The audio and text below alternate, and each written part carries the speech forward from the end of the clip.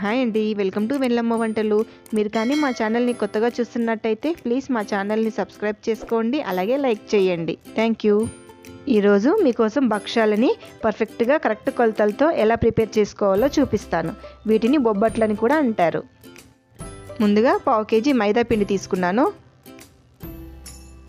పావు కేజీ అంటే two cups మైదా పిండి అయ్యింది. దానికి త్రీ ఫోర్త్ కప్ బొంబాయి రవ్వ వేసుకోవాలి. అంటే పావు కేజీలో హాఫ్ కన్నా ఎక్కువ. వీటన్నిటిని బాగా కలుపుకోవాలి.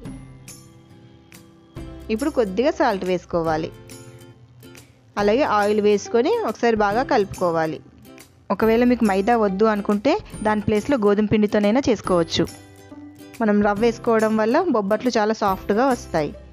ఇప్పుడు పిండిని నీళ్ళు వేసుకొని బాగా కలుపుకోవాలి.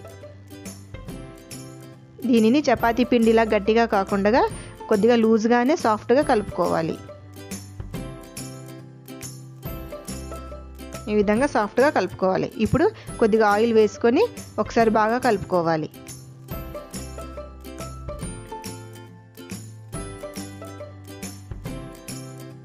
ఈ విధంగా సాఫ్ట్గా కలుపుకోవాలి.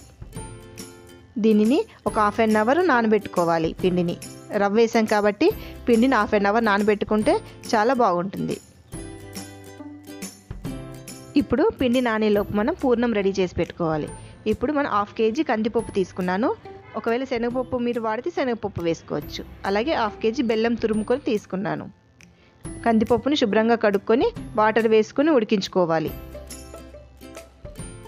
ఇలా కొద్దిగా ఆయిల్ వేసుకుంటే పప్పు తొందరగా ఉడుకుతుంది.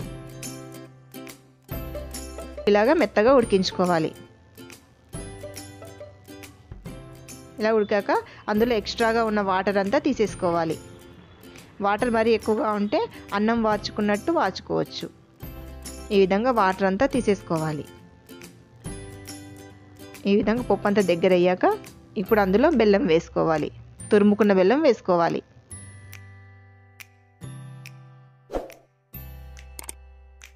ఇలా బెల్లం వేసుకున్నాక దీనిని కలుపుతూనే ఉడికించుకోవాలి.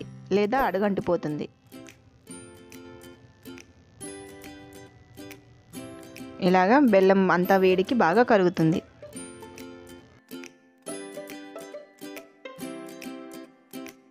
ఈ విధంగా బెల్లం వేశాక దీనిని బాగా ఉడికించుకోవాలి. ఇలా పాకం వచ్చి దగ్గర పడే వరకు ఉడికించుకోవాలి.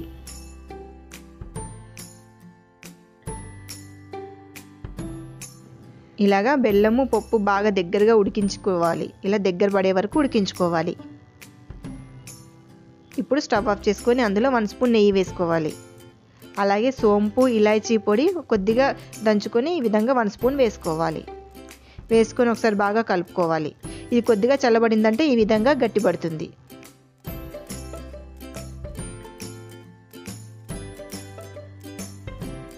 ఇప్పుడు దానిని ఇంకొకసారి మెత్తగా మిక్సీ చేసుకోవాలి. కొద్దిగా మిక్సీ పట్టుకుంటే సరిపోతుంది. ఈ విధంగా మెత్తగా మిక్సీ చేసుకోవాలి. దీనిని ఒక గిన్నెలోకి తీసి పెట్టుకోవాలి ఈ విధంగా. ఇప్పుడు మనం భక్ష్యాలని చేసుకోవాలి. ఇప్పుడు ఒక కవర్ తీసుకొని దానికి ఆయిల్ రాసుకొని ఇలా పిండిని మనం నానబెట్టుకున్నాం కదా ఈ విధంగా సాఫ్ట్గా అయ్యింది.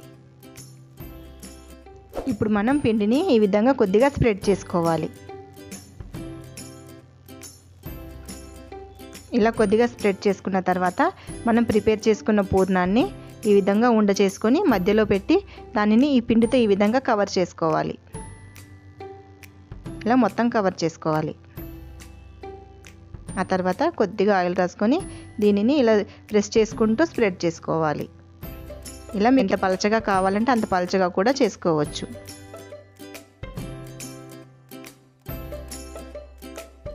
ఈ విధంగా చేసుకున్నాక ప్యాన్ హీట్ చేసుకొని దాని మీద వేసుకోవాలి. ఇలాగా. వేసుకొని మీడియం ఫ్లేమ్లోనే కాల్చుకోవాలి. మనం ఈ భక్ష్యాలని నెయ్యి వేసుకొనైనా కాల్చుకోవచ్చు లేదా ఆయిల్ వేసుకొనైనా కాల్చుకోవచ్చు. నెయ్యి వేసుకుంటే ఇంకా టేస్ట్ బాగుంటుంది. ఈ విధంగా భక్ష్యాలని రెండు వైపులా మంచి కలర్ వచ్చే వరకు కాల్చుకోవాలి. వీటిని పర్ఫెక్ట్ కొలతలతో చేశారంటే భక్ష్యాలు సాఫ్ట్గా పర్ఫెక్ట్గా బాగా వస్తాయి. ఎంతో టేస్టీ అండ్ సింపుల్గా భక్ష్యాలు రెడీ. మీకు కానీ మా వీడియోస్ నచ్చినట్టయితే ప్లీజ్ లైక్ చేయండి షేర్ చేయండి సబ్స్క్రైబ్ చేసుకోండి. Thank you